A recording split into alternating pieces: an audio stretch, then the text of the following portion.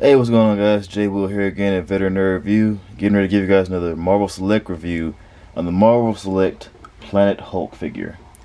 I got this guy pretty much because I missed out on all the other opportunities that came out as far as like the Builder figure from uh, Thor Ragnarok and different other any other variations of the character from the, the Planet Hulk storyline.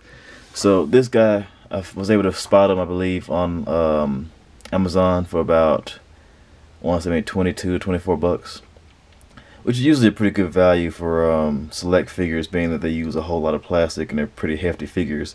So if you can come across one for about that price it's a pretty good deal. They usually run I think maybe 30 plus now for the select figures. But yeah so I figured I'd go ahead and get this guy so I can have at least some version or variation of the gladiator style Hulk on my shelf.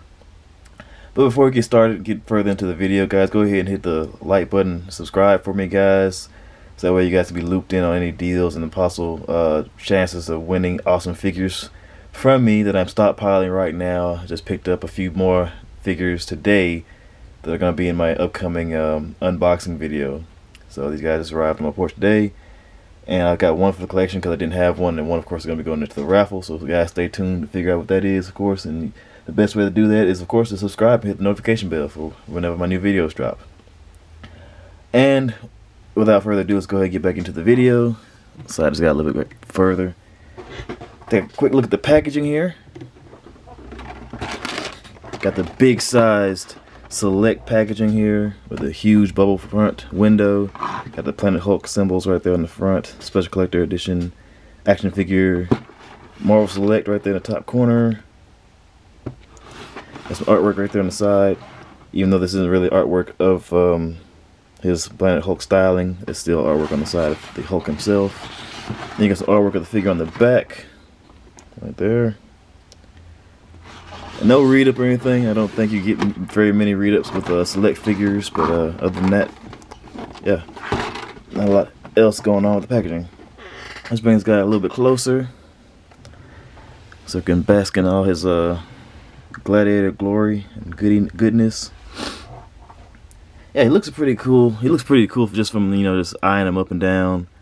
Uh, overall sculpting looks pretty fairly decent, but there are a few um, gripes that I have here and there, but I guess you could kind of really like look at those as like a select issue, not really that big of an issue, but you know they're there. Um, see if I can just get his axe out of his hand here. yeah, he's pretty cool for the aesthetic value.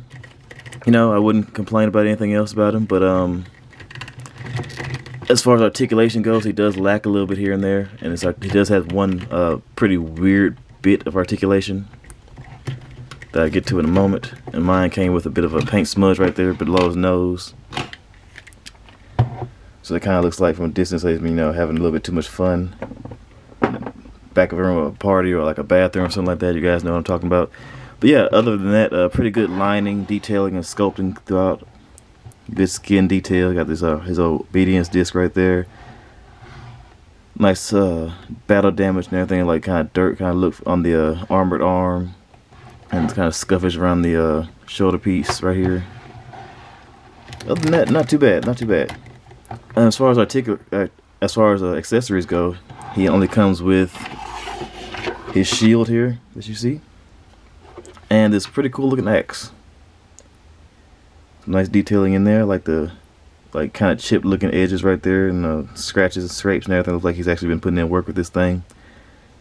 But as far as um, his him holding them, he, you can get him to hold the uh, shield in his right hand fairly well, but you gotta kind of struggle like I did before on his uh, uh, armored hand, his left arm, and his axe doesn't actually hold well in either hand, which pretty much sucks. Why would you give somebody an accessory and a figure packaging? if you can't really hold it. So as you can see, I kind of like just had this bottom part of the axe kind of just wedged in his hand right there. It's the only part that can I can get in there actually sit securely and make it actually hold the axe. Other than that, it's just in there just loose, just flopping around. So it kind of sucks. And it does come with uh, this feather piece of his helmet detached in the packaging, but you just plug that in right there and it kind of seats in pretty securely. For some quick comparisons, let's go ahead and throw in some more selects here. We have the Immortal Hulk.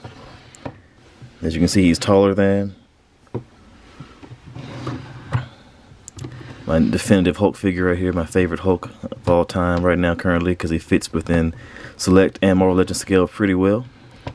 And you have the Marvel Select Avengers movie style Hulk right here. Let me stand him up for you guys so you guys can kind of see his height a little bit better. So yeah, he's taller than both of them. Yeah, so in the Planet Hulk storyline, comic books, or whatever, he is at his, I believe, his strongest on Planet Hulk or Planet Sakaar.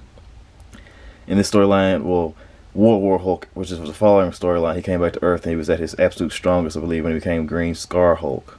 And that was the Hulk that was like, you know, completely, totally unstoppable. They brought in all manner of superheroes to try to stop him, but nobody could stop him. And he ended up fighting with a Sentry to a stalemate until they both reverted back to their depowered forms. But still, nobody was able to beat him on that level. Nobody. And uh, bringing in another select. Let's go ahead and place him real quick. Place this guy with the select abomination figure. And now, more and more as time goes on, I've seen more and more Hulk figures that are way taller than this abomination figure. So I kind of feel like they should definitely update the abomination from the select line. Give it, give us a taller one, bigger one with like more more articulation because this guy's getting kind of shorter and stumpier over time. He looks amazing, but he's like getting shorter, shorter and stumpier over time, and the articulation is kind of weighing him down. But other than that, he looks still pretty good. And to bring in a few more Legends here, we have the Marvel Legends 20th anniversary. We have the 80th anniversary And of course we have the Maestro. So as you can see, all three of those Hulks use the same body mold. So of course this guy, he kind of dwarfs all three of them. Bring these guys back out. And it's just for fun, let's throw them in next to the Gamerverse Abomination figure. One of my, well, definitely my favorite Abomination figure of all time now.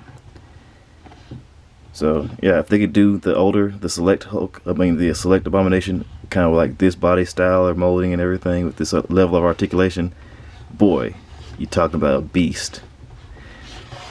Well, back to the video. Well, the guy who the video is about, uh, the select Planet Hulk figure.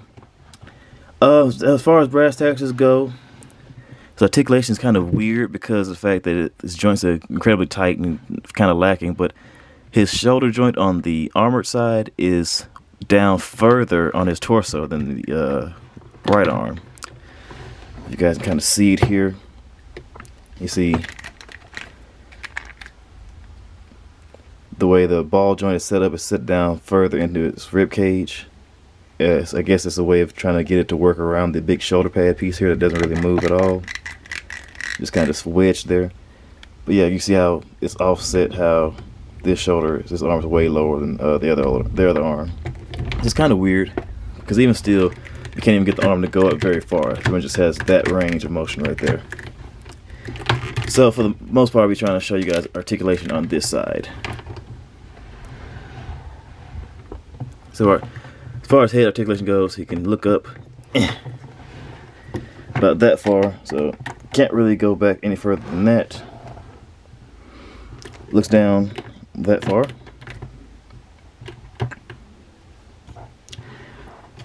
side to side motion, of course. And maybe slight, yeah, slight head tilt.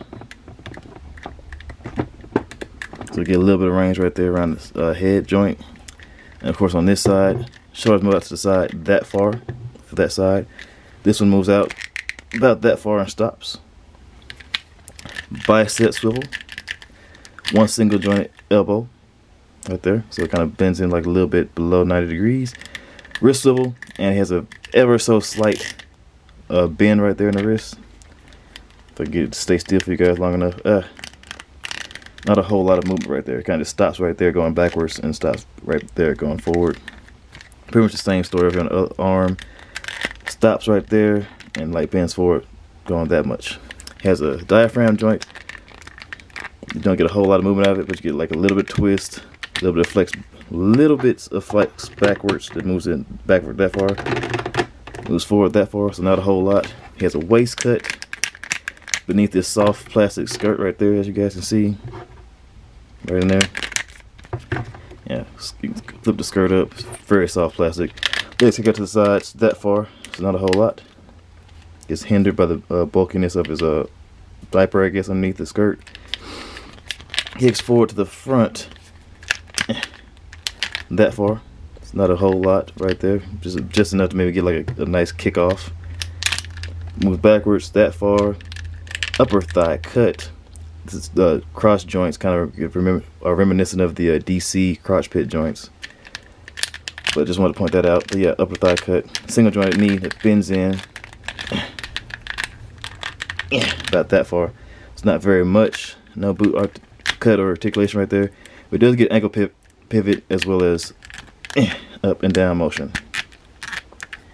So yeah. Fairly decent amount of articulation there and everything. Not a whole lot. But like I said, I mainly just got this guy just for the display factor. Just to be able to have, you know, a version of the Hulk that is a gladiator styled version of him. But other than that, I just pretty much need him to stand there for aesthetic. Point blank period. But yeah, for the price point of about 22 $24 somewhere in there, not a bad deal because of course with um phone going off, of course with um select figures you do get a lot of plastic. And it's they're very very weighty. So I feel like that's at least, you know, maybe 25 30 bucks worth of plastic. But guys, like I said, if you liked the video, hit a like button, comment, subscribe, share your thoughts and everything, and make sure you do subscribe because, uh, I, like I've mentioned before, there's going to be great deals, giveaways, and raffles going on down in the future once I get over about a thousand subscribers.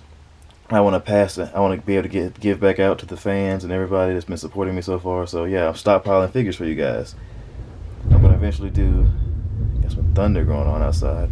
Gonna eventually do a uh, video showing what all I have in the uh, raffle pile for you guys coming up in here in a bit. Once I do another unboxing video for you guys to see. And that pretty much wraps it up for me here, guys. Like I said, appreciate you guys always stopping by and take it easy.